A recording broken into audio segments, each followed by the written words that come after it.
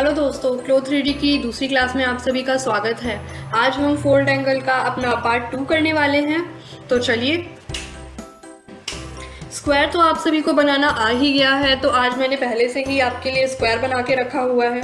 हम अपना edit tool select कर लेते हैं कीबोर्ड पे साइड दबाते हुए, और सेम इसकी भी इंटरनल लाइन बना लेते हैं, जैसे हमने लास्ट टाइम बनाई थी। वही चार इंटरनल लाइन बना लेते हैं हम।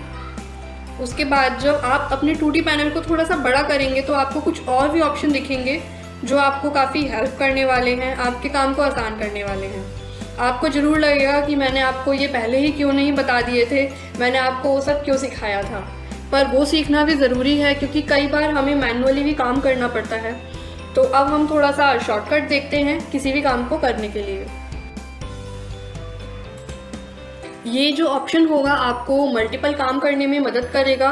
कई बार होता है हमें एक ही चीज़ बार बार रिपीट करनी होती है। जैसे अगर आप बॉक्स प्लीट स्कर्ट बनाएँ या नाइफ प्लीट स्कर्ट बनाएँ या अकॉर्डियन प्लीट बनाएँ, कोई सी भी प्लीट बनाएँ तो आपको एक ही चीज़ बार बार दोहरानी पड़ेगी।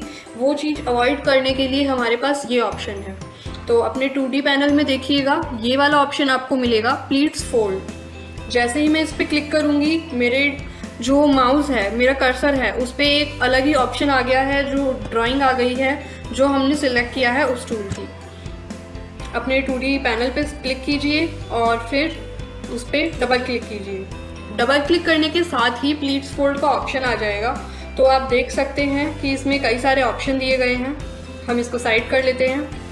नाइफ प्लीट बॉक्स प्लीट और अकॉर्डियन प्लीट हम इसमें कई सारी चीज़ें देख सकते हैं, हमें दी हुई हैं। इंटरनल लाइन कितनी है? जब हम किसी भी गारमेंट को फोल्ड करते हैं तो उसमें लाइनें कितनी हम दिखाना चाह रहे हैं, वो ये डिपिक्ट करता है। अगर मैं इसको तीन कर दूँगी तो देखिए क्या होगा। आपने अगर ध्यान दिया होगा तो मेरे यहाँ की जो लाइनें हैं, इनके कलर बदल चुके हैं। मैं आपको दोबारा से करके दिखाती हूँ। फ़िलहाल ये रेड ब्लू और मेजेंटा में है। मैं जैसे ही इसको टू कर दूँगी तो अब ये फिर से रेड और ब्लू में हो गए हैं। तो दो लाइनों के अकॉर्डिंग दो कलर और तीन लाइनों के अकॉर्डिंग तीन कलर हम इसमें एंगल भी डिसाइड कर सकते हैं। वो सारी चीज़ें हमारी उसी तरीके से हो गई। बस इन चीज़ों को आपको जैसे जैसे समझेंगे, वैसे वैसे आप इसमें ऐड कर सकते हैं। हमें इस तरीके से चाहिए। इसमें एक कॉम्बिनेशन बना हुआ है कि आपको ज़ीरो टू 360 वाला एंगल चाहिए 150 टू टू टेन वाला चाहिए। आप कोई भी अपना एंगल आपकी नीड के अकॉर्डिंग डिसाइड कर सकते हैं। यहाँ पे ऑलरेडी दिया हो गया है कि आउटसाइड फोल्ड जो हमारी रेड लाइन दी गई है इसमें, वो हमारी बाहर आने वाली हैं और जो ग्रीन लाइन है, वो हमारी अंदर चली जाएँगी। जैसे ही हम इसको थ्री कर देंगे तो इस पर कोई फ़र्क नहीं पड़ेगा, क्योंकि वो केवल और केवल वो हमारी वो लाइन डिपिक्ट कर रहा है जो वापस ऊपर आने वाली है। उसका उससे कोई लेना देना नहीं है। हम इसको टू कर देते हैं वापस। ये नाइफ प्लीट है। आप डायरेक्शन रिवर्स भी कर सकते हैं, वैसे कोई फ़र्क नहीं पड़ता। पर अगर आपका गारमेंट कुछ स्पेसिफिक बना हुआ है तो आप रिवर्स का भी ऑप्शन इसमें यूज़ कर सकते हैं। हम फ़िलहाल ऑफ़ कर देते हैं और ओके दबाते हैं। अभी फ़िलहाल कोई फ़र्क नहीं पड़ा है, क्योंकि इसकी सिमुलेशन ऑफ़ है। हम सिमुलेशन ऑन करके देखते हैं कि क्या होगा।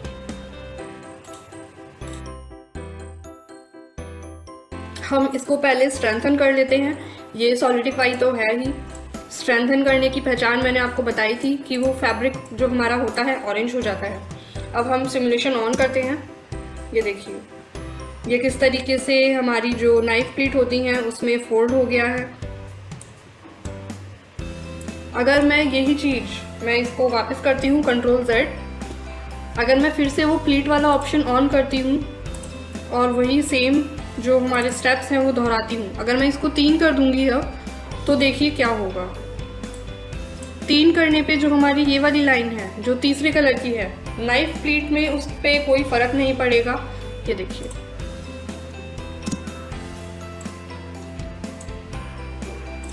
मैं ये सिलेक्ट टूल से दिखाती हूँ। जो ये वाली लाइन है, हमारी ये फोल्ड ही नहीं हुई है, उसने छोड़ दी है।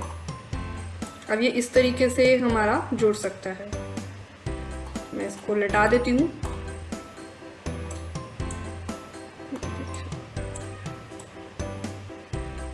जो हमारी स्कर्ट के लिए है, आप या तो लाइनें उस तरीके से सेट कर सकते हैं कि आपकी स्कर्ट अपने आप ही नाइफ प्लीट में रहे, या हम इस तरीके से भी कर सकते हैं कि हम तीन का ऑप्शन सिलेक्ट कर लें तो वो हो जाएगा।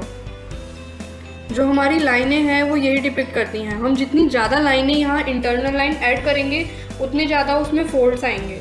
अब हम इसको वापस कर लेते हैं।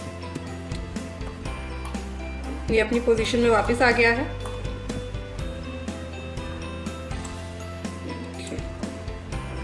हम अब अपनी इंटरनल लाइंस को थोड़ा सा बढ़ा लेते हैं, जिससे हमें और अच्छे से समझ आए। एडिट टूल सिलेक्ट कीजिए, सारी लाइनों को सिलेक्ट कीजिए और डिलीट का ऑप्शन दबा दीजिए।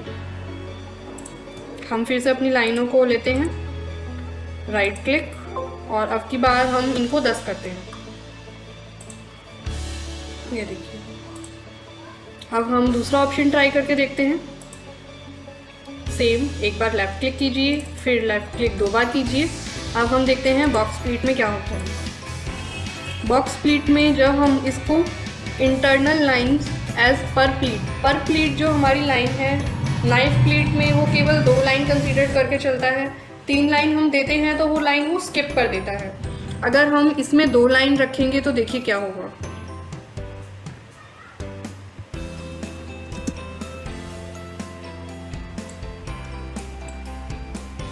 ये कुछ इस तरीके से फोल्ड हो गया है।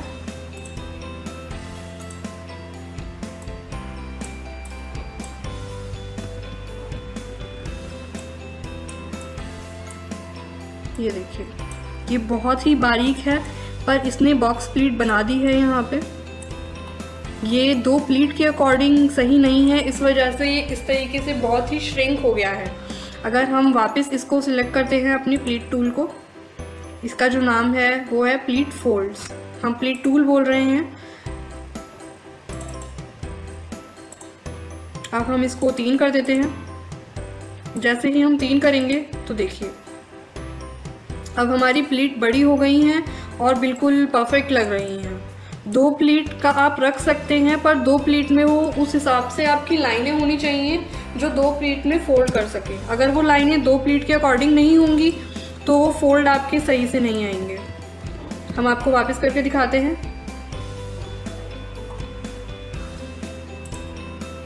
टूल सेलेक्ट किया। बॉक्स प्लीट हम इसके एंगल को चेंज करके देखते हैं साथ साथ क्या होगा। ये देखिए।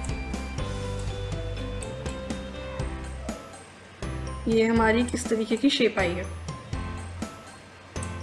मैं आपको एक एक लाइन सिलेक्ट करके दिखाती हूँ, कौन सी लाइन किस तरफ़ फोल्ड हुई है। जो हमारी इस तरीके की ब्लू लाइनें हैं, वो हमारी बाहर की तरफ़ आई हैं। ये देखिए। जो भी हमारी बाहर की तरफ़ लाइनें हैं, आप इसको बॉक्स प्लेट भी कह सकते हैं इन्वर्टेड बॉक्स प्लेट भी कह सकते हैं, जो आपको कहना हो। क्योंकि हम अगर उस तरफ़ से यूज़ करेंगे तो वो बॉक्स प्लेट हो जाएगी, उस तरफ़ से यूज़ करेंगे तो इन्वर्टेड प्लेट हो जाएगी।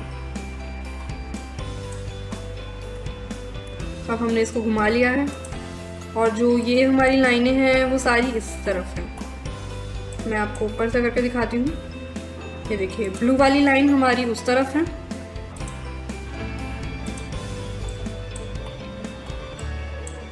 ये जी ये हाईलाइट हो रही है और रेड वाली लाइनें हमारी इस तरफ़ है। मैं जैसे ही इसको चेंज करूँगी बॉक्स प्लीट थ्री ये देखिए मैंने अपनी सिमुलेशन ऑफ़ कर दी है आपको दिखाने के लिए। अपना एडिट टूल यूज़ कीजिए। देखिए, अब जो हमारी ये रेड वाली लाइनें हैं, वो तो सारी इस तरफ़ है। ये वाली लाइन जो है हमारी, जो हमारी लास्ट टाइम भी हमारी यूज़ नहीं हो रही थी, वो अब इसमें हमारी सेंटर लाइन हो गई है, ये देखिए, ये हाईलाइट हो रही है। इस लाइन पे जो हमारा है एंगल कोई भी सेट नहीं होता है, जो इस कलर की होती है हमारी लाइन और जो हमारी अल्टरनेटिव लाइंस होती हैं, उनके लिए एक अलग कलर सेट होता है।